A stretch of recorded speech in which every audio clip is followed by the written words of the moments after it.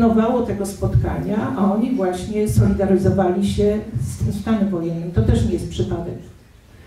I e, dla mnie to, to, co Pan mówi o tych e, morderstwach, to jest e, po prostu, to jest tylko kontynuacja programu zniszczenia wszystkich narodów, nie tylko Polaków, to jest Polaków, Francuzów, Niemców. Również nie znamy historii Dachau. W Dachau zakończyła się niby wyzwoleniem, bo Dachau jako obóz powstał projekt 3 maja w 1915 roku w Ingolstadt. I nie, nie było wyzwolenia, bo po wojnie w Dachau umieszczono 2,5 tysiąca Niemców. I o tym się nie mówi, że Dominikanin, który wywalczył dla nich mieszkania w 1960 roku został zamordowany.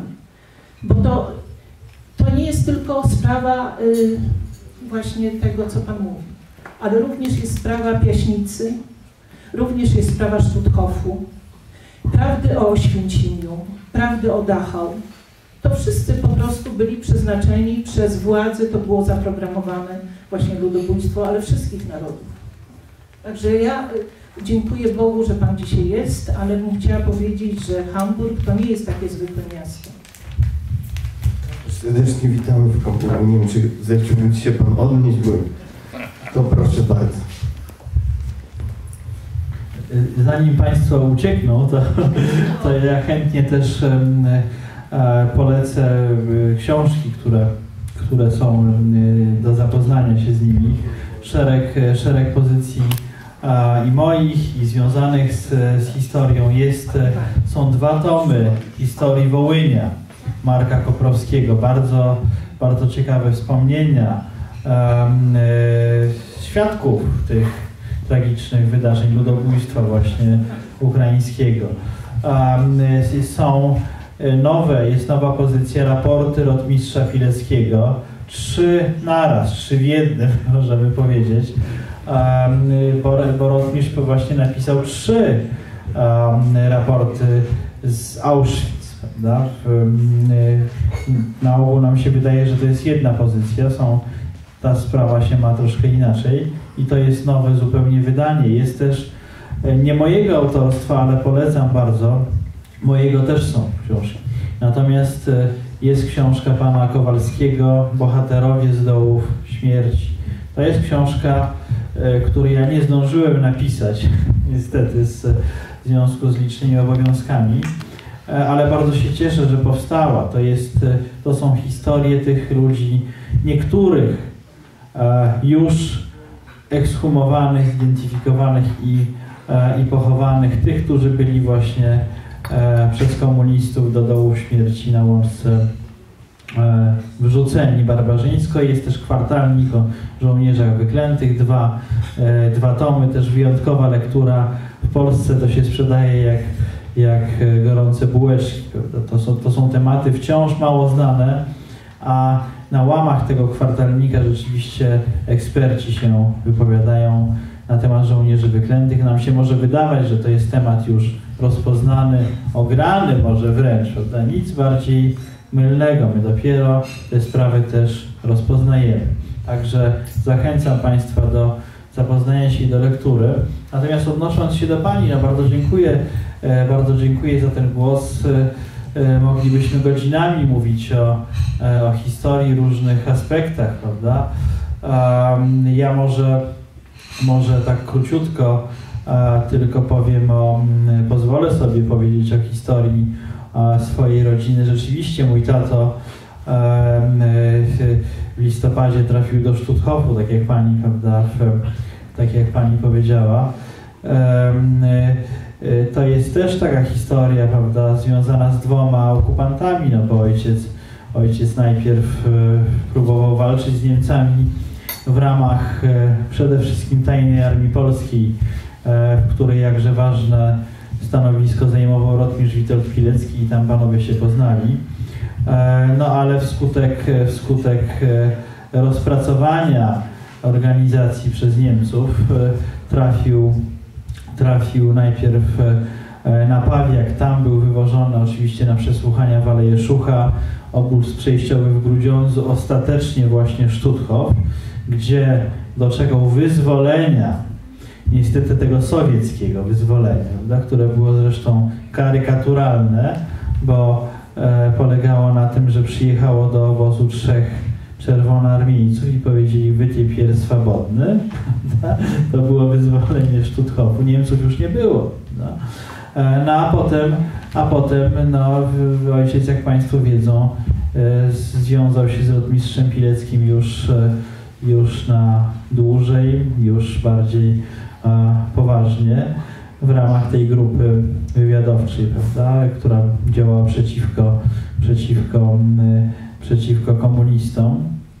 E, I dzisiaj no, wydaje mi się, że ich też powinniśmy nazywać żołnierzami wyklętymi. Prawda? Tutaj też są kontrowersje. Prawda?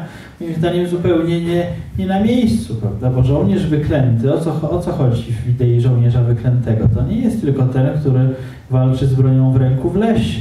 Prawda? Chodzi o, o to, co komuniści, jaki mieli plan wobec nich. Wykląć, czyli wyrzucić z naszej pamięci, z naszej świadomości. A walczyć można było różnymi metodami. I żołnierzem wyklętym jest zarówno Zygmunt Szendziela-Szłupaszka, prawda, Józef Banzo-Jastrząb, jak i rotmistrz Witold Pilecki, a nawet generał August Emil Fildorf-Nil, e, bo jego też e, zamordowali, jego też wyrzucili na śmietnik łączkowy i też go wymazali, prawda? wykleli go. To jest, o to chodzi w, w tym terminie, prawda, żołnierz wyklęty. Ja zawsze, jak wiecie, dodaję jeszcze jeden termin, żołnierz niezłomny, prawda, przez to, że się nie dali złamać. Czy to właśnie walcząc znowu w lesie, czy na przykład w ubeckim śledztwie. Prawda? Na tym polega wielkość Pileckiego czy Fildorfa, że nie dali się po prostu um, przekabacić na stronę e, komunistów. Ale powiem Państwu tak, że no, wydaje mi się, że przykład mojej rodziny jest taki, jest taki no może, może, może drastyczny, ale, ale poniekąd typowy, prawda? Właśnie dla, dla polskich e, losów, e, losów doświadczonych i okupacją niemiecką, i potem okupacją e, sowiecką. Mój dziadek Wacław Płużański ginie na, na Pawiaku, aresztowany jako nauczyciel jednej z warszawskich szkół za to, że ośmielił się razem z innymi dyrektorami świętować 3 e, maja 1940 roku. E, nauczyciele, dyrektorzy zrobili, e, zrobili specjalne lekcje poświęcone polskiej konstytucji. Za to zostali aresztowani. Dziadek właśnie nie, nie przeżył szucha, prawda? zmarł na pawiaku. Większość pozostałych nie wyszła żywa z Auschwitz. Prawda? A z kolei brat, brat ojca został za działalność konspiracyjną rozstrzelany w jednej z, z jednej, w jednej z e, egzekucji publicznych w Warszawie. E, tam jest dzisiaj nawet tablica przy ulicy Wawelskiej, poświęcona właśnie e, wówczas zamordowanym ze strony mamy. E, też nie było, prawda, zbyt, zbyt miło, bo, bo e, no tutaj nie będę różnych losów opowiadał, ale przynajmniej babcia trafiła, trafiła do sowieckich łagrów i stamtąd już nie wróciła. Do dzisiaj mam, prawda, przechowuję jak relikwie, można powiedzieć, listy, prawda, nie wiadomo do końca skąd, prawda, ale informowała, że jeszcze, że jeszcze e, żyje, prawda, i żeby się i żeby się nie martwić, ale los oczywiście nie znany, nie wiadomo, co się z nią stało. To jest, to jest też ta różnica, prawda, między, między Niemcami a Sowietami, że ofiary, oczywiście są wyjątki, nie chcę generalizować, ale wiele ofiar okupanta niemieckiego można jednak odnaleźć, można zidentyfikować. Z ofiarami sowieckimi jest dużo gorzej, bo ludzie na ogół po prostu znikali. Prawda? jeżeli zostałeś wywieziony na wschód, to istniało duże, istniało duże prawdopodobieństwo, że, e, że Twojego grobu nigdy się nie odnajdzie. To są te, to są te tysiące, dziesiątki tysięcy, którzy e, wylądowali na nieludzkiej ziemi. I grobów nie znajdziemy. Dzisiaj trwa dramatyczna próba odnalezienia ludzi z Łączki. To miejsce szczęśliwie przetrwało w pamięci przede wszystkim rodzin. Mieli różne sygnały, świadectwa, że to jest prawdopodobnie tam. W końcu uruchomienie IPN-u, w końcu taki człowiek jak Krzysztof Szwagrz. Prawda? I, i, I te badania można było e, prowadzić, jak, jak wiecie, nie bez problemów. To się odbywało w tej trzeciej Rzeczpospolitej, a dzisiaj, a dzisiaj no, obrót spraw, e, muszę to Państwu powiedzieć, prawda, bo, to, bo to leży mi na sercu bardzo, e, no, jest dość dramatyczny. Oczywiście trzeba rozróżnić dwie sprawy. Z jednej, z jednej strony wielką radość, że te prace są kontynuowane, ale efekty tych prac są zatrważające, przynajmniej dla mnie. No, dla profesora Szwagrzyka też, tylko on, on może aż tak dobitnie tego nie powie. A podczas tego etapu ekshumacji e, e, okazało się, że nie wystarczyło naszych e, bohaterów, prawda, żołnierzy wyklętych, działaczy państwa podziemnego, zamordować. Nie wystarczyło ich zrzucić do tych dołów śmierci, czyli po prostu zatuszować tę zbrodnię, zasypać piaskiem. Nie wystarczyło również postawić groby na ich e, szczątkach. Okazało się niestety, że również te szczątki były w sposób barbarzyński znowu niszczone.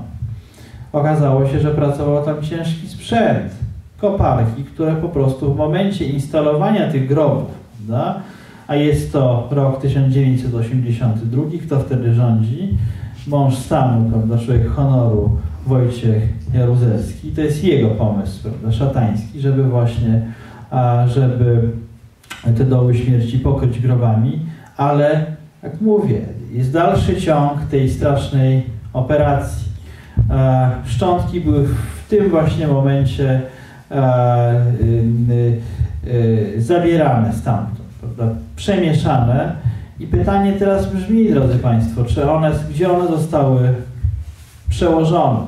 Czy gdzieś obok, prawda, czy do jakiegoś dołu na przykład wspólnego zrzucone, prawda, czy w tej wersji e, bardziej tragicznej w ogóle wyrzucone gdzieś poza teren cmentarza, czyli po prostu na jakiś śmietnik. Musimy się pogodzić, drodzy Państwo, z, z taką E, możliwością, że e, my rotmistrza Pileckiego, generała Fildorfa czy pułkownika Cieplińskiego nigdy nie znajdziemy. Niestety, no to muszę Państwu powiedzieć, żeby być uczciwym znowu, prawda? Istnieje takie zagrożenie. Tam są na ogół pojedyncze kostki. Z tych kostek e, no reszta właśnie gdzieś, gdzieś indziej musi być. Prawda? z tych kostek nie wiadomo, czy uda się e, wyizolować materiał genetyczny. No i to, i to, jest, i to jest prawdziwe oblicze komuny. Prawda? To są ci nasi wyzwoliciele. No, I taki plan. Plan sowiecki. Prawda? E, plan katyński, można powiedzieć. Ale my groby ich szanujemy, Bierut. No, no, to jest druga strona medalu. No ja oczywiście postuluję od dawna, że że Bolesław Bierut, e, Władysław Gomułka, prawda, czy Karol Świelczewski, ale nie tylko. E, nie mówmy tylko o Alei Zasłużonych, mówmy na przykład o wspomnianym Wojciechu Jaruzelskim. On nie leży w Alei Zasłużonych, powązek wojskowy. Dlaczego on e, dalej ma tam spoczywać? Prawda? Więc jeżeli jest plan, prawda, i, i mam nadzieję zostanie zrealizowany, wyniesienia tych oprawców komunistycznych z tej szczególnej polskiej nekropolii, to mówmy o całym cmentarzu, tak? bo y, oni leżą w różnych miejscach. Specjalnie znowu przemieszano te groby, żeby bohatera położyć żołnierza AK, prawda, czy, czy powstańca y, styczniowego, żołnierza 20 roku z funkcjonariuszem komunistycznym. Y, to jest bardzo trudna operacja, oczywiście. No, natomiast moim zdaniem E, niezbędna do przeprowadzenia. Po prostu e, to się należy też tym ludziom. Prawda? Z jednej strony oddajmy hołd e, bohaterom, a z drugiej strony no, odpowiednio potraktujmy tych, którzy ich prześladowali. Prawda? Oczywiście nie nawołuje do, do e, wyrzucania ich do jakichś dołów, prawda? E, czy na śmietnik, to, to co oni prawda, proponowali naszym. Z, cały, z pełnym szacunkiem, z całym odpowiednim ceremoniałem, a jeszcze dodam, i to mówiłem nawet w TVN, jak mnie tam raz zaprosili, już to pierwszy i ostatni raz, przy, przy dźwiękach międzynarodówki, odprowadźmy ich na cmentarz żołnierzy radzieckich, no, bo tam jest ich miejsce, po prostu.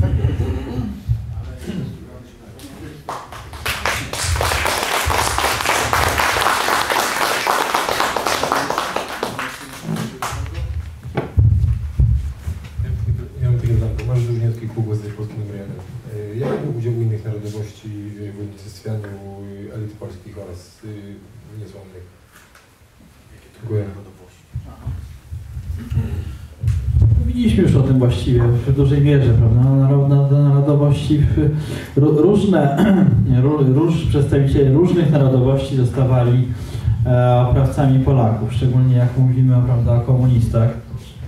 E, no to dla mnie najistotniejsze jest to, prawda, nawet nie ich pochodzenie, prawda, tylko co oni robili. Prawda? To jest rzecz, to jest rzecz e, kluczowa. Jak mówiłem, no, ba- bardziej mnie boli to, że, że Polacy brali udział w tym, w tym aparacie, prawda? A nie, a nie na przykład e, m, Bermanowie, prawda? Czy e, ci, którzy się definiowali, prawda, jako, jako, jako Polacy, a nie, a nie jako Żydzi, prawda? I to jest, to jest coś, co, co, co, co najbardziej mi przeszkadza. prawda? Różański się zadeklarował jako Żyd. No, Pochowany drodzy na... Państwo, no wielu z nich przecież, e, przecież e, mówiło, mówiło otwarcie, prawda, że, e, że oni Polakami są tylko z urodzenia, że to właściwie trochę przez przypadek się stało, że, że urodzili się na terenie Polski, prawda? ale bardzo szybko, jeszcze będąc dziecięciem, często, prawda, zostawali komunistami, wiązali się z różnymi strukturami młodzieżowymi, prawda, komunistycznymi. To jest historia większości tych tak zwanych polskich komunistów, którzy rządzili, prawda, w, po 1944 roku. Oni metrykalnie byli Polakami, natomiast, natomiast przyznawali się e, do swojego żydostwa bardzo często, prawda. I rzeczywiście taki Różański, prawda, on, on, mówił, on mówił wprost, że Polaków nienawidzi, prawda, a ostatecznie spoczął na cmentarzu żydowskim w Warszawie, ale na przykład jego brat Jerzy Borejsza leży na powązkach wojskowych, prawda? Więc to są bardzo różne, rodzony brat, prawda? Y, Więc to są bardzo, bardzo złożone historie. No niestety ten, ten e, pierwiastek, e, pierwiastek żydowski w tym był bardzo silnie eksponowany, szczególnie w aparacie represji, prawda? E, szczególnie w tak zwanym wymiarze sprawiedliwości, czyli bezprawia komunistycznego.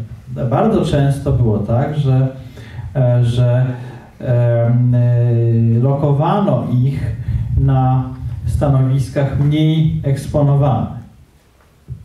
Takie e, dwa może przykłady, czy trzy. Z jednej strony kto był szefem bezpieki? No, był Stanisław Radkiewicz. No? Polski internacjonal, no właśnie taki polski, że, że Pol Polaków mordował. Komunista. No? Zdeklarowany komunista jeszcze z czasów przedwojennych.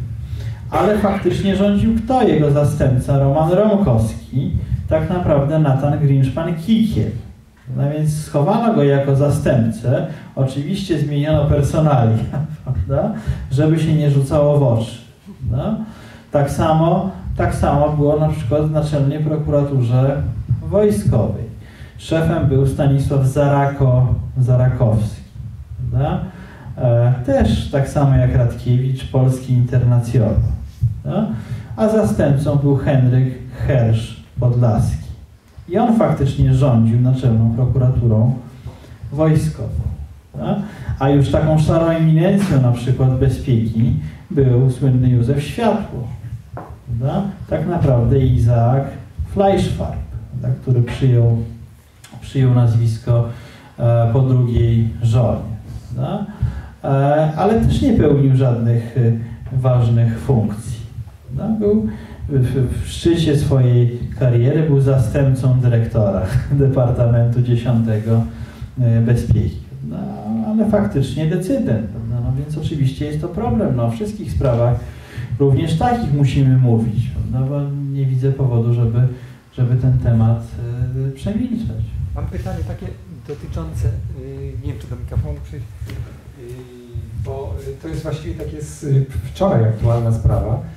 Wyszła ta książka Kani Targackiego i pani Kania powiedziała, że jeżeli chodzi o ojca Kwaśniewskiego, że chodzą takie pogłoski, które się kompletnie nie sprawdziły, że on ma pochodzenie żydowskie, bo w aktach jest napisane y, przez SB, że pochodzenie żydowskie, ale to zrobili moczarowcy.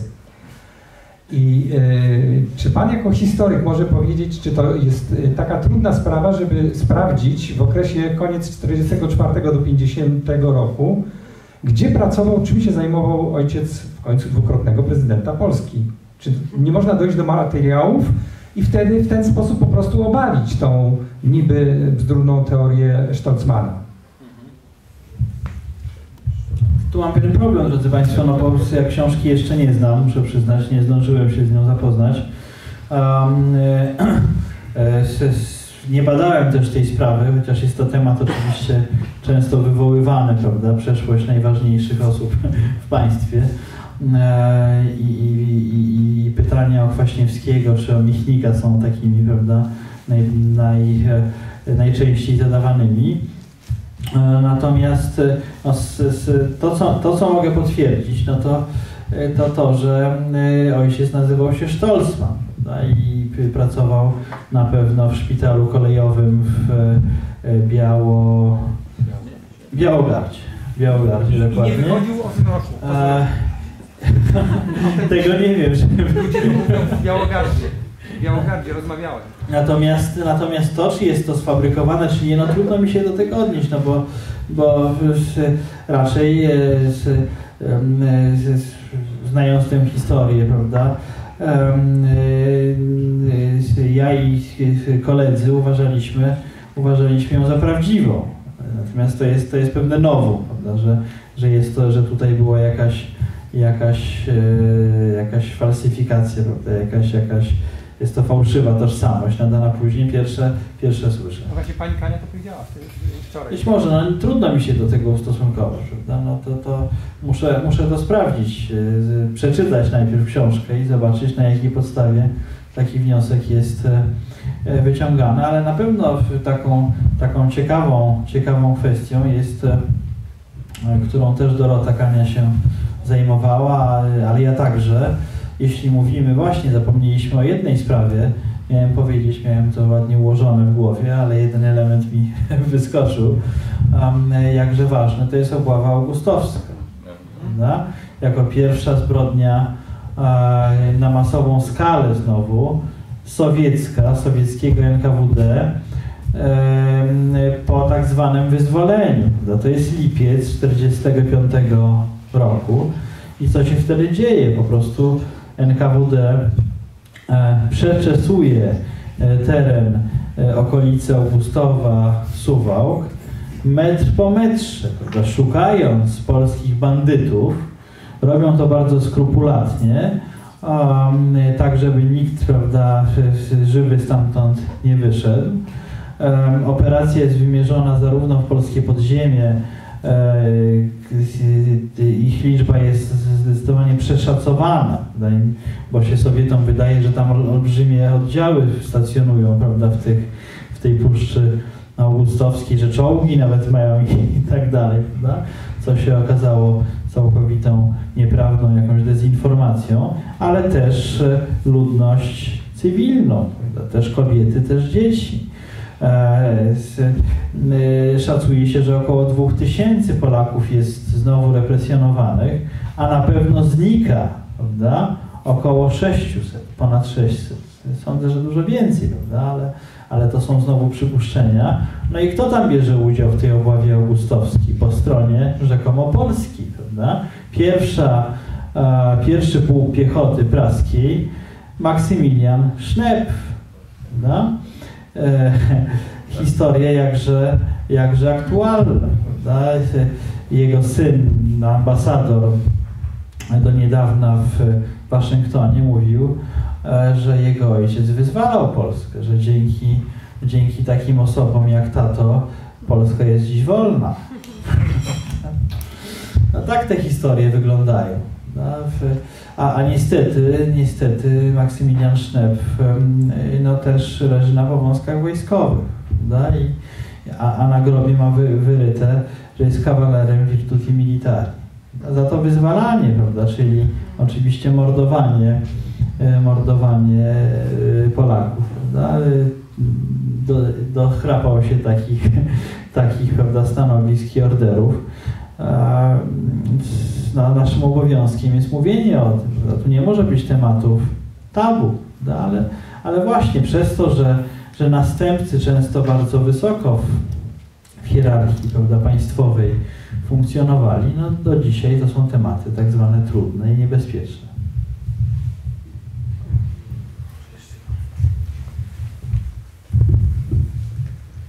Tego, z tego wszystkiego, co tutaj mówiliśmy, takie się nasuwa pytanie, czy ogólnie rzecz biorąc, e, bo tak, mówimy tutaj e, o narodowościach, e, o wyznaniach. Na przykład mówi się, mówi się w ten sposób, że Żydzi i Polacy. Czy, mówimy, czy możemy mówić w ten sposób, jeżeli odnosimy się do Holokaustu w czasie II wojny światowej? Bo tak, mamy Żydzi to nie jest jakby narodowość, prawda? Tutaj mówimy o, o konkretnym wyznaniu, Żydzi, katolicy i tak dalej. Czy nie można po prostu mówić Polacy, Francuzi i tak dalej, bo to byli po prostu Żydzi wielu narodowości. A, to pierwsze takie pytanie, a drugie się nasuwa to, że nieważne kim jesteś, jesteś wrogiem, jeżeli myślisz racjonalnie i tutaj się to odnosi jakby do tego zbrodniczego systemu, reżimu socjalistycznego. No, ty, drodzy Państwo, też wydaje mi się, że ten wątek się już trochę dzisiaj pojawił, prawda? Że, że mówiliśmy, mówiliśmy troszkę, troszkę o tym. No moim zdaniem, moim zdaniem ta klasyfikacja jest całkowicie chybiona, prawda? Klasyfikowanie, wyodrębnianie, prawda? Żydów, prawda? Jako ofiar jako ofiar Holokaustu. Znaczy w pewnym sensie oczywiście uprawniona, bo, bo taki był plan niemiecki, prawda? Chociaż, chociaż dokumentu nie ma, ale, ale, ale plan, był, plan, plan był i był realizowany. Natomiast, natomiast no faktycznie problemem jest to, jak, jak my powinniśmy klasyfikować te ofiary, no bo byli Żydzi polscy, byli Żydzi francuscy, byli Żydzi węgierscy, prawda? niemieccy, prawda? I dlaczego właściwie nie uznawać ich właśnie w, w, według kategorii obywatelstwa. Prawda? Ja się skłaniam do, do, do klasyfikacji takiej, że, że Żydzi obywatele polscy powinni być traktowani jako ofiary polskie. Prawda? Ofiary, powtórzę, polskiego Holokaustu, który miał miejsce.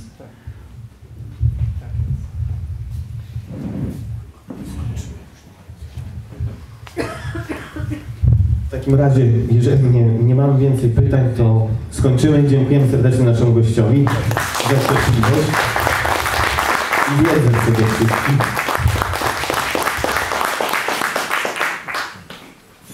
Dziękuję bardzo. Pan wyłączył.